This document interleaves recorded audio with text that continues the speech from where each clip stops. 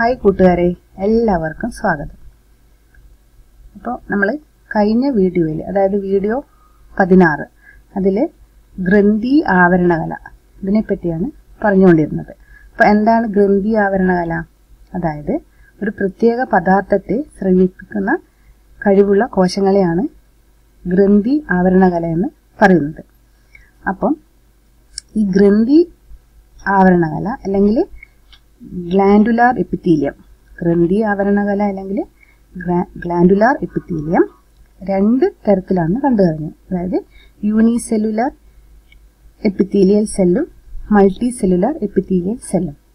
അപ്പം എന്താണ് unicellular epithelial cell? അതായത് ഏകകോശ ഗ്രന്ഥി. ഏകകോശ ഗ്രന്ഥി. അതുപോലെ തന്നെ ബഹുകോശ ഗ്രന്ഥി ആവരണ കല. ഏകകോശ ഗ്രന്ഥി ആവരണകലയാണ് യൂണിസെല്ലുലർ എപ്പിത്തീരിയൽ സെൽ എന്ന് പറയുന്നത്. അതുപോലെ തന്നെ ബഹുകോശ ഗ്രന്ഥി ആവരണകലയാണ് മൾട്ടി സെല്ലുലർ എപ്പിത്തീരിയൽ സെൽ എന്ന് പറയുന്നത്. അപ്പം ഈ ഏകകോശ ഗ്രന്ഥി ആവരണകലയിൽ ഇതെവിടെയാണ് കാണപ്പെടുന്നത്? അതായത് ആഹാര നാളത്തിൽ ശ്ലേഷ്മം ശ്രവിക്കുന്ന ഗോബ്ലറ്റ് കോശങ്ങളാണ്. ഇനി പഠിക്കാൻ പോകുന്നത് ബഹുകോശ ഗ്രന്ഥി ആവരണ കലയെപ്പറ്റിയാണ് അതിൽ പെടുന്നതാണ് ബഹിർസ്രാവി ഗ്രന്ഥി അതുപോലെ തന്നെ അന്തസ്രാവി ഗ്രന്ഥികൾ. എന്നാണ് ബഹിർസ്രാവി ഗ്രന്ഥി? ദാറ്റ് ഈസ് എക്സോക്രൈൻ ഗ്ലാൻഡ് അന്തസ്രാവി ഗ്രന്ഥിയോ? ആണ് എൻഡോക്രൈൻ ഗ്ലാൻസ് എന്ന് പറയുന്നത്. ഇപ്പോൾ എക്സോക്രൈൻ ഗ്ലാൻസ് എന്താണ് എക്സോക്രൈൻ ഗ്ലാൻസ് അതായത് ഇംഗ്ലീഷിൽ പറയുമ്പോൾ നിങ്ങൾക്ക് കൂടുതലത് മനസ്സിലാവും. അതായത് these glands possess ducts for discharging their on the body surface അപ്പോൾ ഈ ഗ്ലാൻസിന് എന്തുണ്ട്? ഡെക്റ്റ് ഉണ്ട്. അപ്പോൾ ഈ ഡെക്റ്റിൽ കൂടിയാണ് സെക്രീഷൻസ് ഡിസ്ചാർജ് ചെയ്യുന്നത്. Okay that is exocrine gland the sebaceous glands present in the skin salivary glands present in the buccal cavity അതുപോലെ തന്നെ gastric glands present in the walls of the stomach etcetera are examples of exocrine glands ഏതൊക്കെയാണ് sebaceous glands salivary glands അതുപോലെ തന്നെ gastric glands in the walls of the stomach ഇതൊക്കെ exocrine glands ആണ്. അപ്പോൾ exocrine ഗ്ലാൻസിന്റെ മലയാളമാണ് ബഹിർ സ്രാവി ഗ്രന്ഥി. ബഹിർ സ്രാവി ഗ്രന്ഥി. ഓക്കെ അപ്പോൾ ഈ വസ്തുക്കൾ നാളിയിലൂടെയാണ് വഹിക്കുന്നത്. അതായത് ത്രൂ ഡെക്സ് അപ്പോൾ ഇതൊക്കെയാണ് എക്സാമ്പിൾസ് വരുന്നത്. Sebaceous glands salivary gland gastric gland ഇതൊക്കെ എക്സോക്രൈൻ ഗ്ലാൻസിന് എക്സാമ്പിൾസ് ആണ്. ഇനി അടുത്തത് എന്താണ്? അന്തസ്രാവി ഗ്രന്ഥികൾ. അന്തസ്രാവി ഗ്രന്ഥി അല്ലെങ്കിൽ എൻഡോക്രൈൻ ഗ്ലാൻസ് എന്താണ് endocrine glands these glands do not discharge their secretion through duct ഇത് ഡക്റ്റ് ഇല്ല അവർക്ക്. അപ്പം എന്ത് ചെയ്യും? Hence they are called ductless glands എന്ന് പറയും. They are called less glands അപ്പോൾ they discharge their secretions directly into the blood stream അപ്പോൾ അവരുടെ സെക്രീഷൻസ് ഡയറക്റ്റായിട്ട് ബ്ലഡ് സ്ട്രീംസിലേക്കാണ് പോകുന്നത്. അപ്പോൾ the secretions are known as hormones അപ്പോൾ അത്തരത്തിലുള്ള സെക്രീഷൻസ് നമ്മൾ എന്ത് പറയും?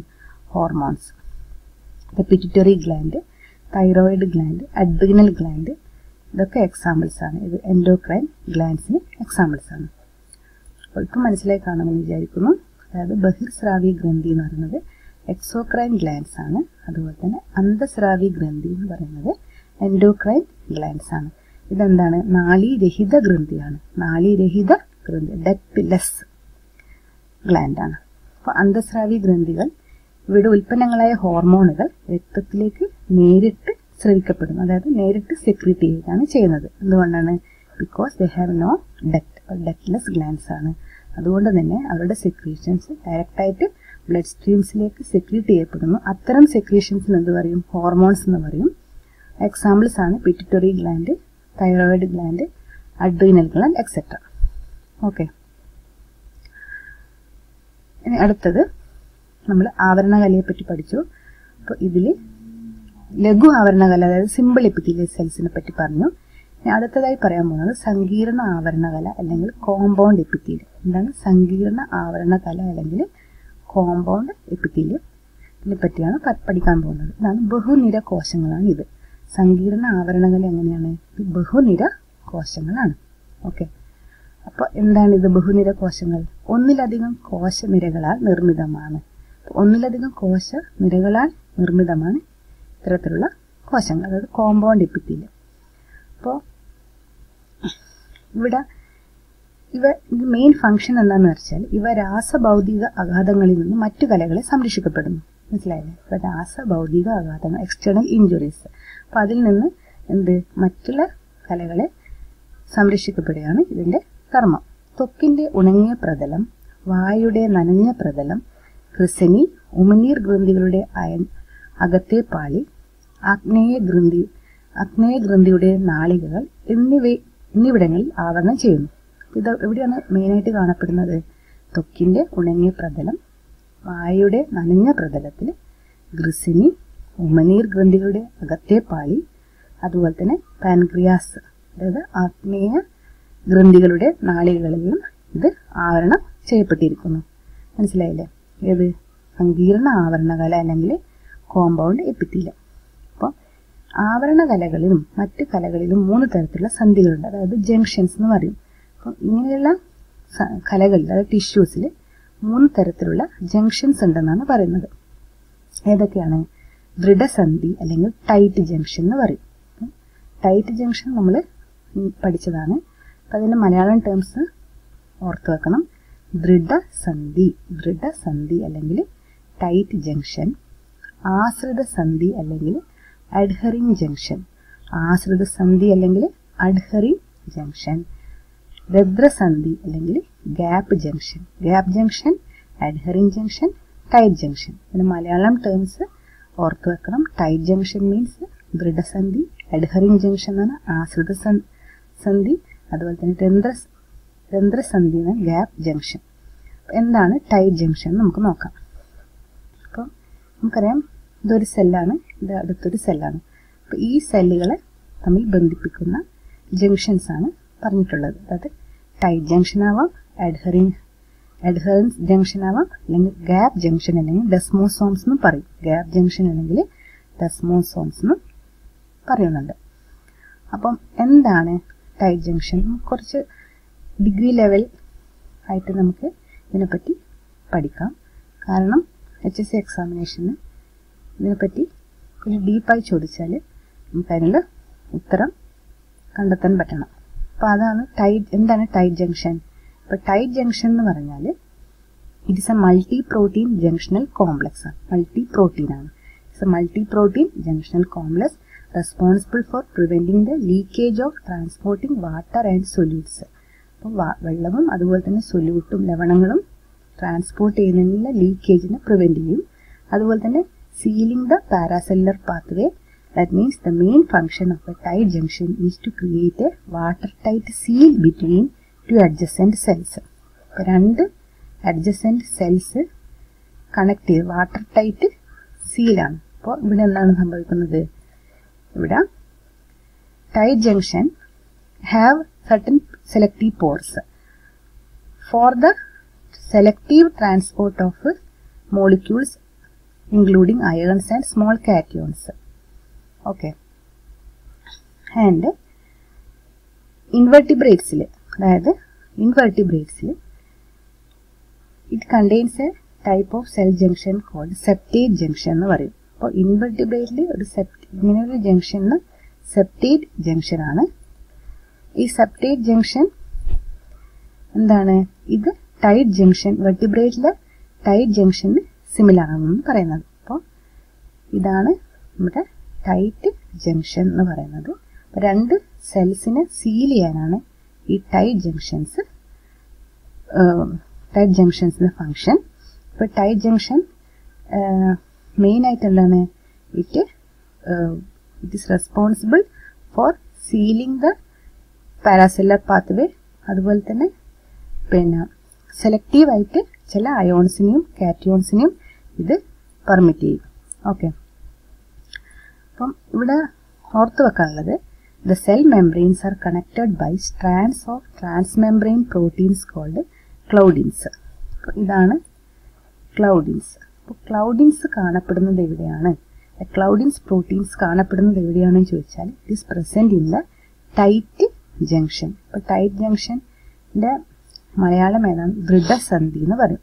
ടൈറ്റ് ജംഗ്ഷൻ ഓർ ദൃഢസന്ധി ഓക്കെ അപ്പോൾ ഇതിന്റെ ഫംഗ്ഷൻ എന്താണ്? ഇവിടെ മലയാളത്തിൽ കലകൾക്കിടയിലുള്ള വസ്തുക്കളുടെ ചോർച്ച തടയുകയാണ് ചെയ്യുന്നത്. കലകൾക്കിടയിലുള്ള വസ്തുക്കളുടെ ചോർച്ച തടയുകയാണ് ദൃഢസന്ധിയുടെ പ്രധാന function ദൃഢസന്ധി. It is formed of a protein ഈ പ്രോട്ടീൻ എന്ത് പറയും? It is formed of proteins called claudins okay the cell membranes are connected by strands of transmembrane proteins connect ചെയ്യുന്ന ഈ പ്രോട്ടീൻസിന് പറയുന്ന പേരാണ് എന്ത്? ക്ലൗഡിൻസും ഓക്കെ നെക്സ്റ്റ് വരുന്നത് അഡേറൻസ് ജംഗ്ഷൻ ആണ്. അപ്പം ഇത് രണ്ട് സെല്ലാണെങ്കിൽ രണ്ട് സെല്ലിനെയും ഈ കണക്ട് ചെയ്യുന്ന ഈ ഹുക്കിലേക്ക് പ്രോട്ടീൻ ഇതിന് പറയുന്ന പേരാണ് ഏത്? കാഡ് കാഡ്ഹെറിൻ എന്ന് പറയും. കാഡ്ഹെറിൻ പ്രോട്ടീൻ കാഡ്ഹെറിൻ പ്രോട്ടീൻ എവിടെയാണ് കാണപ്പെടുന്നത് വെച്ചാൽ ഈ seen on the adherens junction അല്ലെങ്കിൽ ആശ്രിത സന്ധി ആശ്രിത സന്ധിയിൽ. ഓക്കെ ദെൻ നെക്സ്റ്റ് ഡെസ്മോസോംസ് അല്ലെങ്കിൽ ഗ്യാപ്പ് ജംഗ്ഷൻ എന്ന് പറയും. They're also called anchoring junction എന്നാണ് ഇതിനെ പറയാം. Anchoring junction arrange randomly on the lateral side of the cell membrane രണ്ടും lateral side of the cell മെമ്പറൈനാണ് ഇത് അറേഞ്ച് ചെയ്തിട്ടുള്ളത്. അപ്പോൾ ഇതിന്റെ മെയിൻ ഫംഗ്ഷൻ എന്താണെന്ന് വെച്ചാൽ it allows molecules to pass to the membrane okay അപ്പം മോളിക്യൂൾസിന് പാസ് ചെയ്യാൻ സഹായിക്കുന്നതാണ് ഇത് ഡെസ്മോസോംസ് എന്ന് പറയുന്നത്. അല്ലെങ്കിൽ ഗ്യാപ്പ് ജംഗ്ഷൻ അതാണ് ഗ്യാപ്പ് ജംഗ്ഷൻ അപ്പോൾ ഇത് ഉണ്ടാക്കിയിട്ടുള്ള protein it is formed of a protein ഈ junction it is formed of transmembrane proteins called desmoglein or desmocollin എന്ന് പറയും. Desmoglein or desmocollin protein ഈ സീൻ ഓൺ ഈ seen on the desmosome cadherin protein is seen in the adher adher junction. And cloudins അല്ലെങ്കിൽ ഒക്ലുഡിൻസ് protein കാണപ്പെടുന്ന എവിടെയാണ്? Tight junction എന്നാണ് ഓർത്ത് ഓർത്ത് വെക്കണം. ഓക്കെ ഇതൊന്നും കൂടി പറയാം. അതായത് കലകളെ എന്ത് ചെയ്യണം തമ്മിൽ ബന്ധിപ്പിക്കുന്ന ഇതാണ് ഇത്. ഈ tight junction adhering junction gap junction മുതലായവ. ടൈറ്റ് ജംഗ്ഷൻ എന്ന മലയാളത്തിൽ ദൃഢസന്ധി. കലകൾക്കിടയിലുള്ള വസ്തുക്കളുടെ ചോർച്ച തടയുന്നു. അതുപോലെ തന്നെ അഡ്ഹറിങ് ജംഗ്ഷനോ ആശ്രിത ആശ്രിത സന്ധിയാണ്. അയൽകോശങ്ങൾ തമ്മിൽ ബന്ധിപ്പിക്കുന്നു. അതായത് കോശാന്തര വിനിമയത്തിന് സഹായിക്കുന്നു. ഓക്കെ കോശാന്തര വിനിമയത്തിന് സഹായിക്കുന്നു. യന്ത്രസന്ധിയോ കോശങ്ങൾ തമ്മിൽ ബന്ധപ്പെടാൻ സഹായിക്കുന്നു. മാത്രമല്ല മോളിക്യൂൾസ് ഫ്രീ ആയിട്ട് ട്രാൻസ് മൂവ് ചെയ്യാനും ഇത് ഹെൽപ്പ് ചെയ്യുന്നുണ്ട്. ഓക്കെ നെക്സ്റ്റ് നെക്സ്റ്റ് പഠിക്കാനുള്ളത് ഇത് യോജനകലയാണ്. യോജനകല. എന്താണ് യോജനകല? മറ്റു കലകളെയോ ശരീരഭാഗങ്ങളെയോ തമ്മിൽ ബന്ധിപ്പിക്കുന്ന കലയാണ് യോജനകല അല്ലെങ്കിൽ കണക്റ്റീവ് ടിഷ്യൂ എന്ന് പറയും. മറ്റു കലകളെയോ ശരീരഭാഗങ്ങളെയോ തമ്മിൽ ബന്ധിപ്പിക്കുന്ന കലയാണ് യോജനകല.